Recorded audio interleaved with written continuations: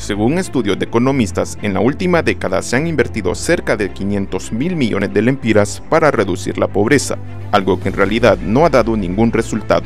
Según datos oficiales del Estado de Honduras, durante los últimos 15 años, desde el año 2006 al año 2021, se han gastado aproximadamente 500 mil lempiras, es decir, medio trillón de lempiras en el combate de reducción a la pobreza. Sin embargo, hemos visto cómo estos recursos pues, han sido mal empleados debido a que la pobreza no ha sido reducida, todo lo contrario, hemos visto un incremento, según los últimos datos del Instituto Nacional de Estadística, pues 7 de cada 10 hondureños se encuentran dentro de lo que es la pobreza y eh, cinco de cada diez hondureños en una pobreza extrema, lo cual pues es preocupante porque lo único que genera es una percepción de falta de transparencia y de mal uso de los recursos económicos que se han destinado para poder sacar a los hondureños de la pobreza extrema y de la pobreza relativa. A pesar de los millonarios recursos que son aprobados cada año, siete de cada diez familias hondureñas viven en pobreza, lo que genera altos niveles de desigualdad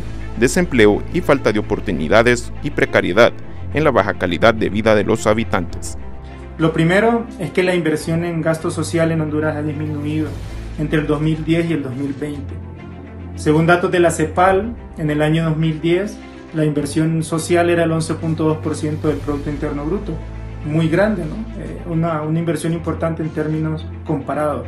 Sin embargo, en el 2019 la misma fue del 7.6% del PIB, es decir, redujo casi un 4% del Producto Interno Bruto, eso es muchísimo. Lo que significa que en primer lugar para el gobierno no es prioridad seguir invirtiendo y aumentando los recursos. En segundo lugar, de este dinero que efectivamente llega, un gran porcentaje es robado. Es decir, producto de la corrupción es apropiado, es malversado, se utiliza para beneficiar a ciertos proveedores.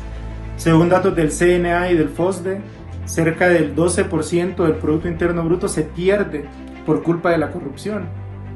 Es que sin duda uno podría decir que eh, se han gastado en nombre de los pobres, porque no es ni siquiera inversión, más de 500 mil millones eh, de lempiras desde el 2004 y eso pues prácticamente eh, uno podría inducir ciertas cosas. La primera es que ha sido un gasto que sin duda no ha tenido un efecto eh, positivo en reducción de la pobreza, sobre todo debido a que uno pues, miró los indicadores eh, tan nefastos en los últimos días que rápidamente el Instituto Nacional de Estadística pues lo quitó de su página ese informe donde hablaba del 73.6% eh, de hogares en condiciones de pobreza. El actual gobierno no ha sido capaz de dar solución a los problemas que enfrenta la población la pobreza abarca no solo el ingreso económico que percibe una persona, sino también el acceso a mejores condiciones de desarrollo como la educación y salud,